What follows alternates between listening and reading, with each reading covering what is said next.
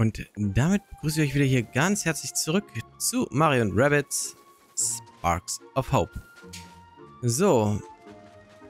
Soweit sind wir eigentlich hier alles safe. Tag auch, Sportsfreunde. Ihr seht aus, als wärt ihr voller Tatendrang. Bereit für den Prima Paletti Dumbarsch Weitwurf-Wettkampf? Den Prima Paletti was? Dumbarsch-Wettkampf. Ihr müsst alle Dumbarsche in den Brunnen werfen, bevor die Zeit um ist. Nur 30 Münzen kostet die Eintrittskarte zu einem rasanten Ritt durch das mitreißende Abenteuerleben eines Profi-Fischweitwerfers. Und sagt ihr, na klar oder nee, danke? Nein, erstmal nein. Oh, naja, nicht jeder hat genug Kraft, Ausdauer und geistige Gewandtheit für den Fischweitwurf. Die meisten Leute ganz bestimmt. Trotzdem, äh, danke für das Angebot. Nee, ich will jetzt hier erstmal noch... Da muss ein Viereck rein. Und das hatten wir doch, glaube ich, hier irgendwo gesehen, oder?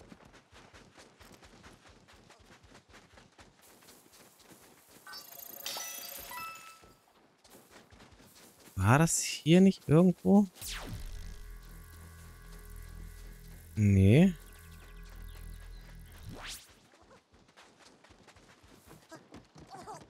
Hier geht es herunter. Bin ich denn hier unten irgendwas? Hier kann ich nur ins Wasser.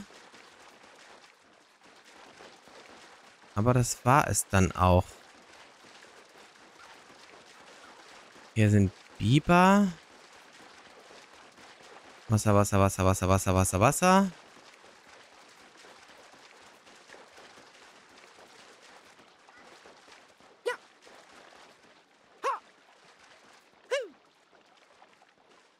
Da komme ich nicht hoch.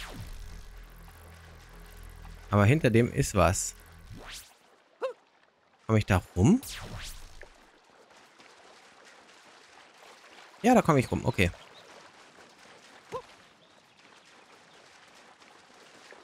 Dann machen wir es halt so rum.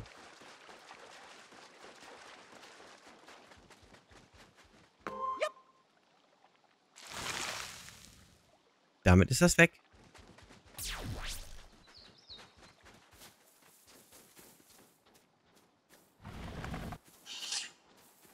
Okay, da ist eine Röhre. Wo führt uns die Röhre hin?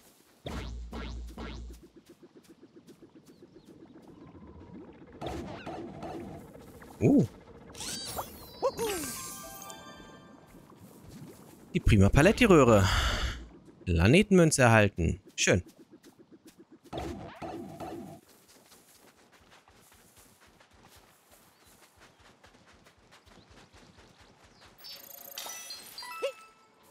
Ich kann einmal hier lang.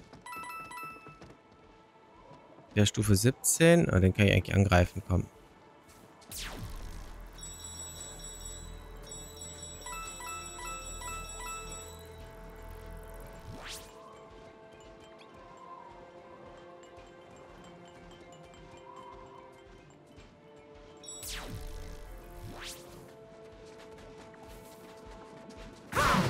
Yes. Erwischt. Ha.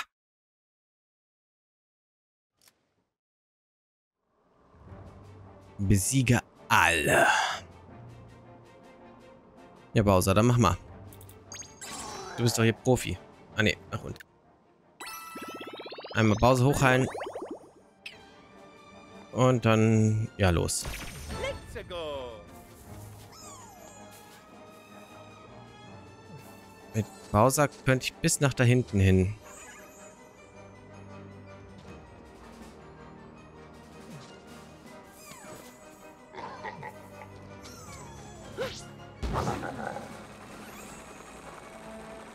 Komm her.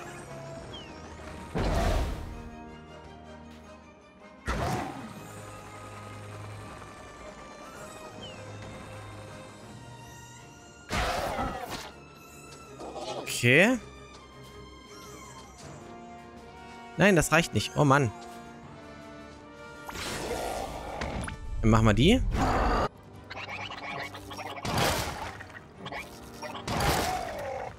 Und nochmal.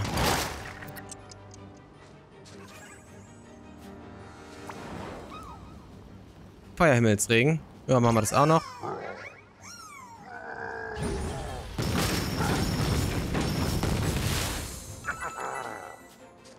Verdammt, ich darf mal... Ach, Mist, ich habe was Wichtiges vergessen.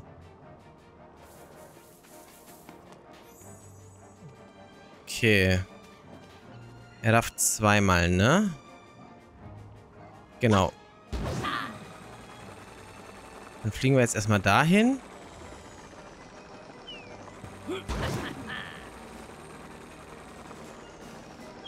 So.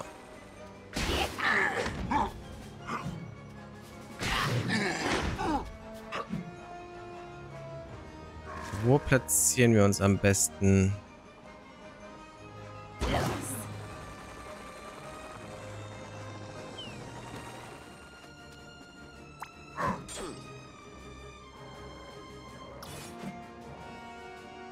Warte mal, erstmal Unsichtbarkeit.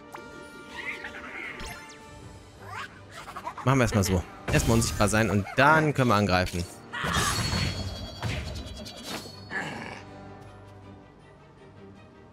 So, und jetzt könnte Mario angreifen.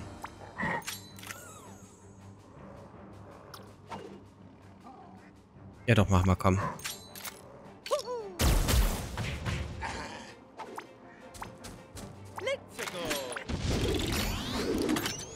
Let's go. Aber es kann doch sonst keiner mehr was machen.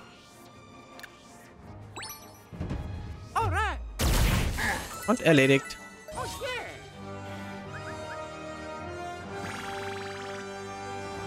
Und nicht einen Schaden genommen. Müsste eigentlich so einen Perfektbonus geben.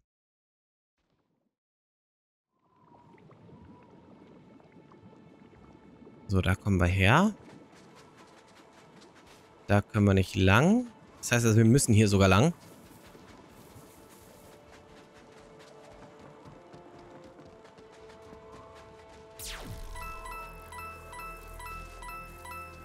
Hier ist weiter nichts.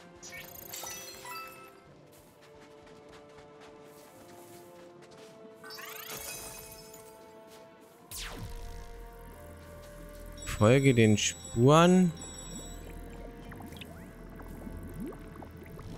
Brücke zur Finsterzeit. Okay, gehen wir rein. Warum nicht?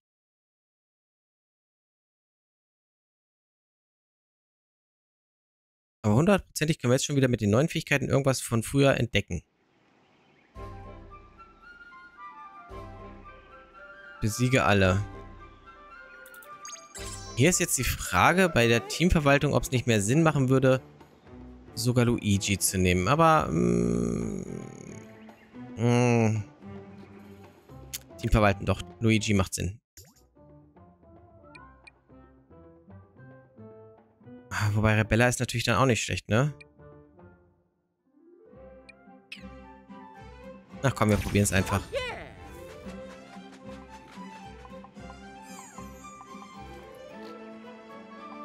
So, dann gehen wir zu Bowser. Ah, Bowser kann sogar bis hierhin. Und könnte hier seine eine geile Attacke ausführen. Und die erwischt alle.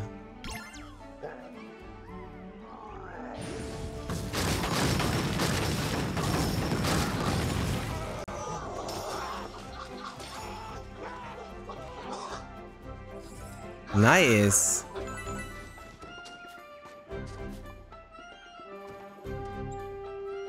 Damit würde ich nur den platt machen. Ne, wir müssen das anders angehen. Wir müssen das anders durchgehen.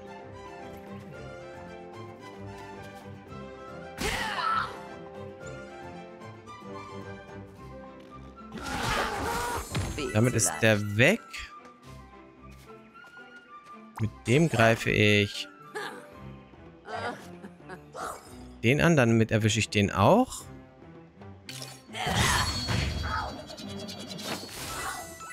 Okay, damit ist der erledigt. Und dann machen wir uns hier unsichtbar.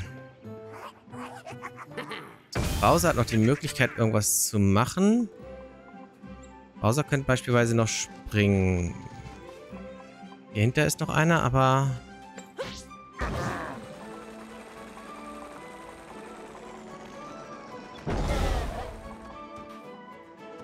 Okay. Oh, ich habe sogar noch einmal Raserei. Dann machen wir das noch so. Und dann kann ich mit Bowser nämlich dann da hinten hinziehen. Ach, da hinten sind auch noch welche. Ah, ich muss weiter nach vorne.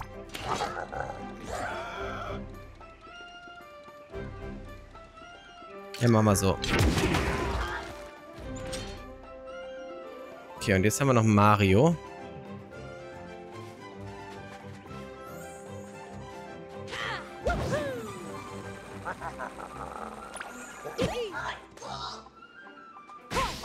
Zack, dann ist der auch weg.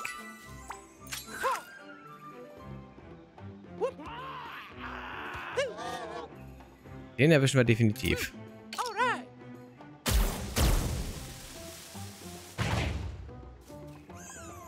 Okay, und dann machen wir noch...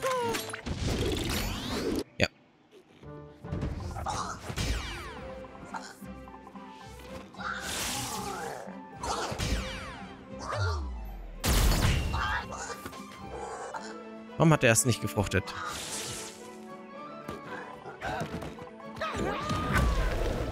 Was? So eine Reichweite hat der? Krass. Der erste, der Bowser richtig trifft.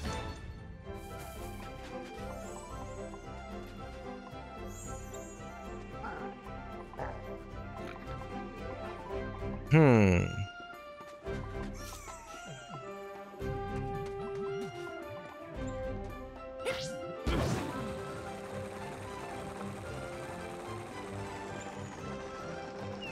Landen.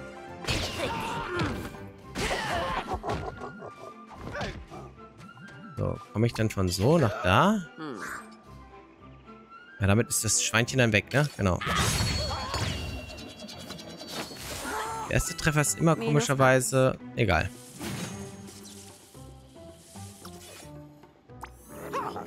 Machen wir so, komm.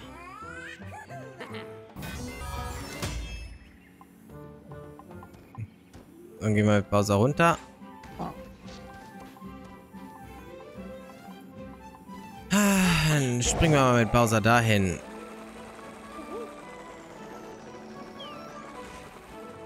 Nein, ich bin falsch gelandet. Oh, ich bin so doof. Okay, machen wir es jetzt mal so.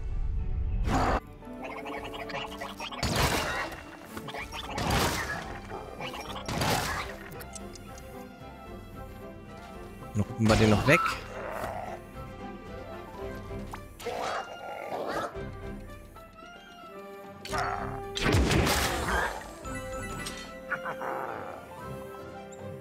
Ach, Mario, da musst du das jetzt handeln.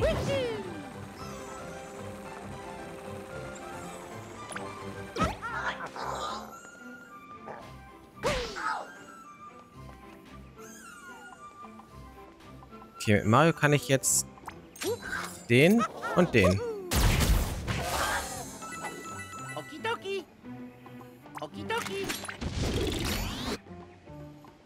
Und damit übergeben wir an den nächsten.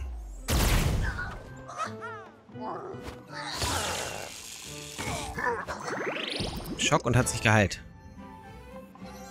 Glaubst du nicht?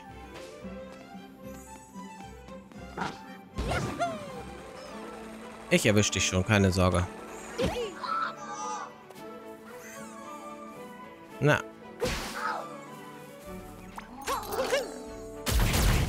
Und weg ist er. Erledigt. Hab leider doch ein bisschen Schaden genommen. Ein bisschen falsch gedacht, aber vertretbar. Okay, also hier ist dann nichts weiter. Nein, ich... hm. Ja.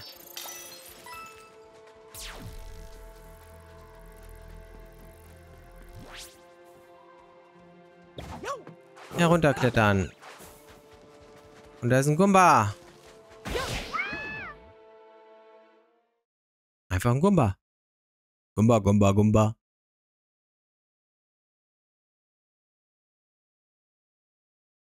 Gumba, Gumba, Gumba.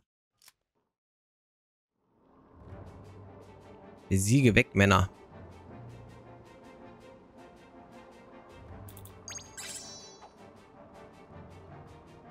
Ja, komm, lass mal so, los geht's. Jetzt gehen wir erstmal mit Mario runter. Nee, erstmal gucken wir mit der Taktikkamera, wo sind die Wegmänner? Das sind nur die zwei? Ernsthaft? So easy? Dann gehen wir jetzt erstmal mit Bowser runter.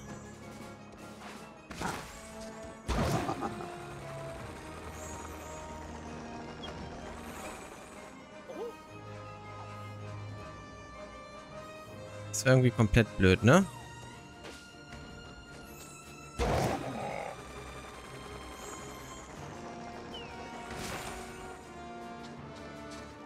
Nein.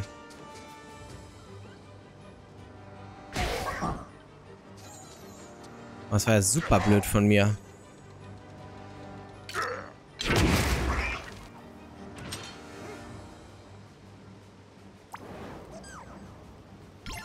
Dann machen wir es halt so.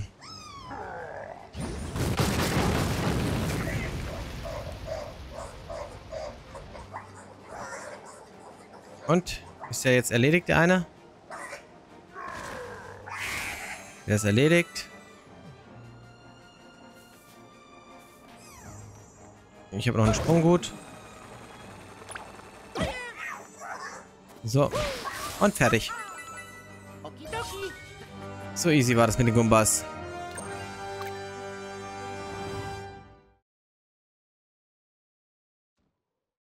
Ja. So, da ist das Dreieck. Und dafür brauchen wir ein Dreieck. Uh, Münzen da vorne. Äh, Sicher geht's hier nicht rüber. Das also, hier werden wir irgendwo das Dreieck finden müssen. Erstmal hier geht's runter. Da ist das Dreieck.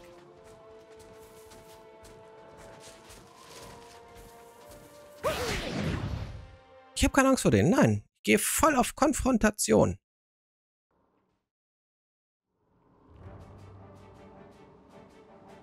Besiege alle Claudiusse. Aber gerne doch. Hm. Hier könnte ich den schon mal ranholen.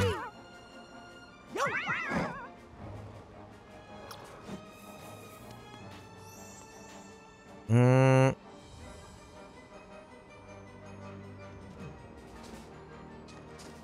Ah, es ist schon verlockend hier, die kleinen Gumbas hier alle einmal platt zu machen, ne?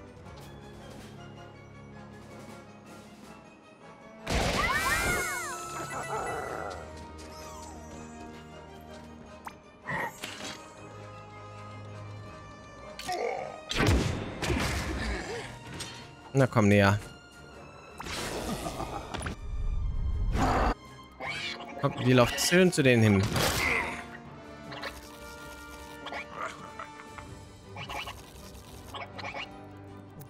Okay. Dann jetzt Rebella.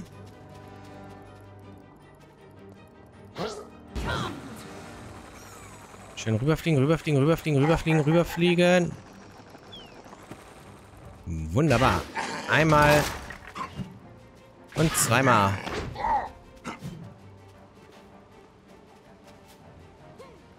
Und dann springen wir wieder zurück.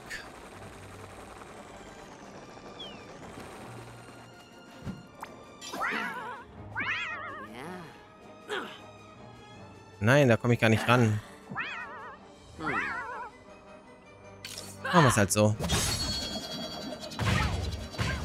Dann sind die auch schon mal weg. Wollt ihr mehr?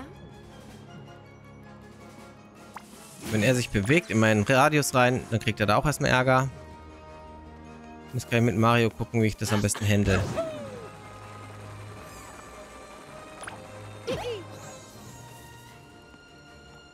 Perfekt. So, Wo springe ich mit Mario jetzt am besten hin?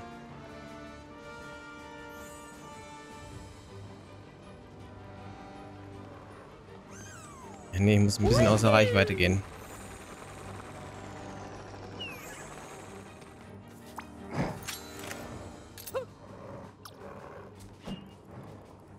Ich habe noch zwei Fähigkeiten im Einsatz.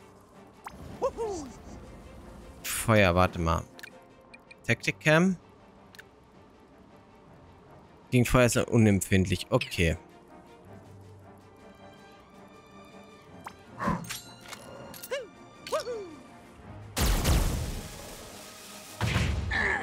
Kritisch getroffen.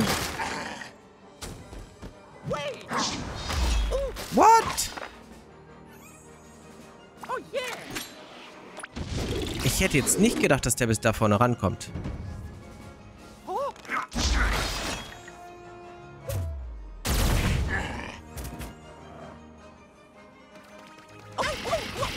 Es hat mein Mario erwischt. Ich glaub's nicht.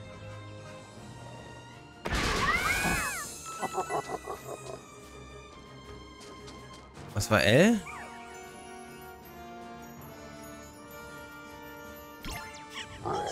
Waffenbasiert und Frosteffekt, okay.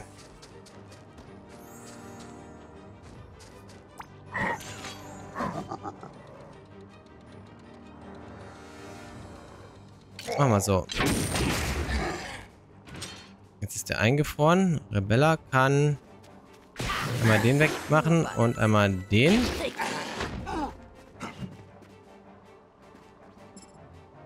Dann können wir den ohne Probleme angreifen.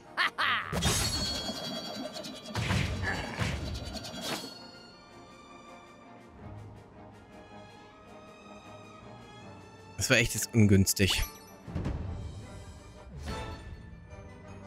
Darfst du nicht bewegen? Ja, das war doof. Minus eins.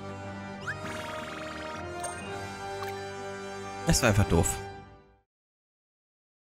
Das war nicht für einen Cent nachgedacht. Oder richtig eingeplant. Dazu kommen wir später. Jetzt bringen wir es erstmal ganz kurz hier hin. Um das da aufzumachen.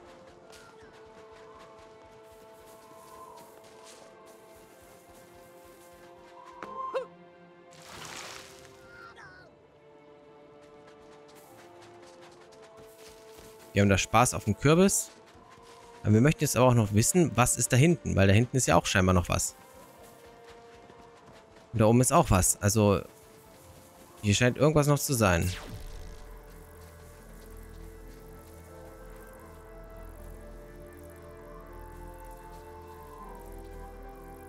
Ja, hier kann ich nichts machen, weil mir wieder eine Fähigkeit fehlt. Na, schön. Ist das schön, wenn eine Fähigkeit fehlt?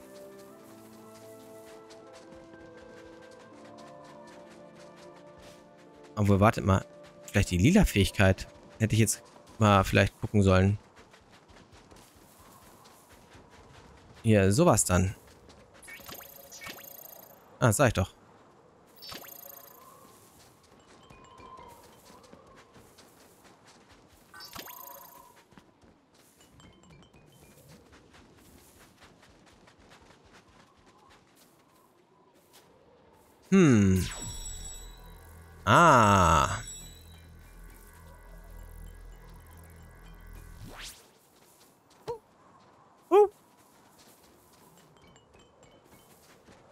Es zurück, dann geht das auf, dann kann ich das nämlich wieder umswitchen. So.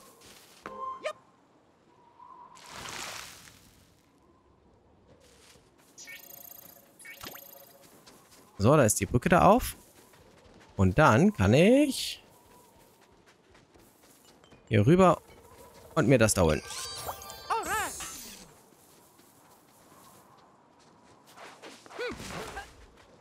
Höhenangst überwunden. Glaube ich nicht, dass ich dadurch meine Höhenangst überwinden könnte, aber... Uh.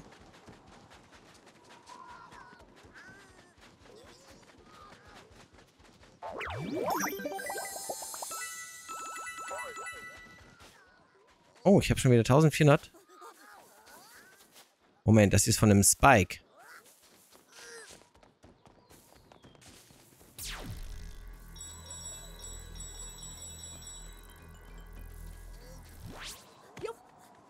Aufheben. Wofür mag das sein?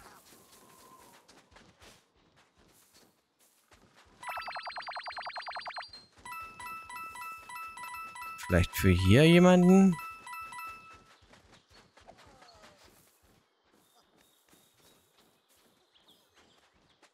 Hm.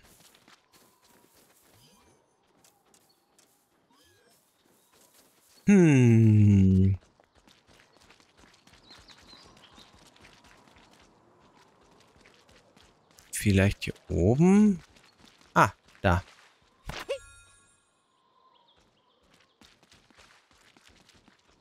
Aber reden kann ich trotzdem nicht mit ihm.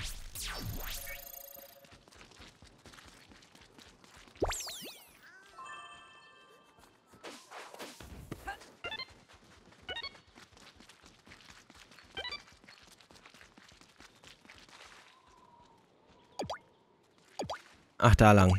Okay.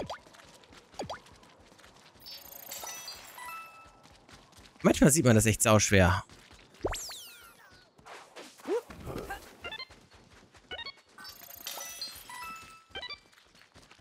Dann hier runter.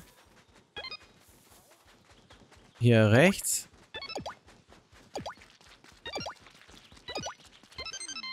Geschafft. Hier brauche ich schon wieder einen Kürbiskopf.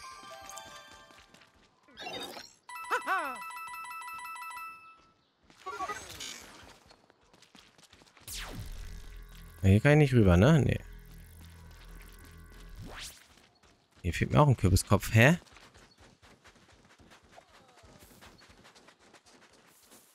Er hier hat scheinbar eine Aufgabe für uns. Da ist ein Kürbiskopf. Dann bringen wir den jetzt erstmal zu dem Kürbis.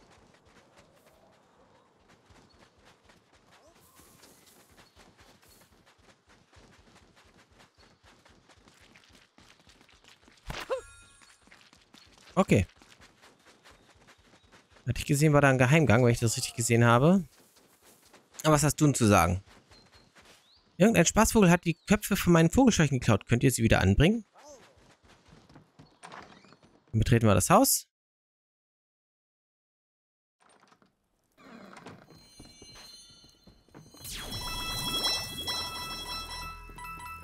Holen uns hier ein paar Münzen ab.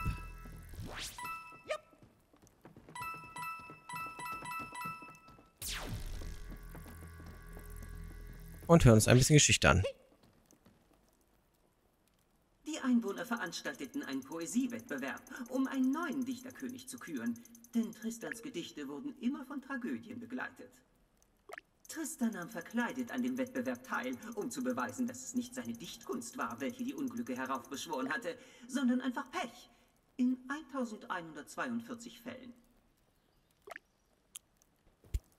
Ist ja gering. Immer wenn Tristan ein Gedicht vortrug, schlug das Schicksal zu. Natürlich machten die Prima Paletianer ihn dafür verantwortlich.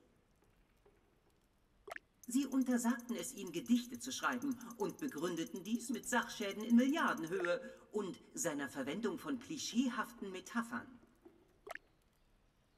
Hm, das als Kind, ne?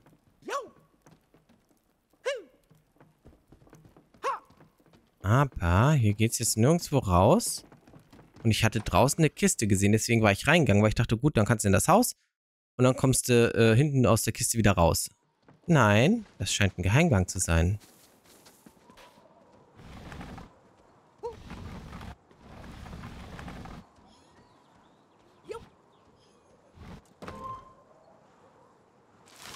Oder so.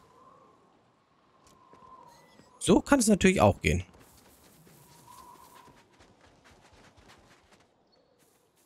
Ah, da ist noch eine Vogelscheuche, wo der Kopf fehlt. Und wieso sind die Münzen denn schon wieder da?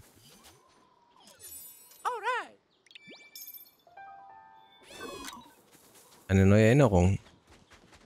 Die Münze hatte ich doch gerade jetzt eingesammelt. Hä? Moment, und da?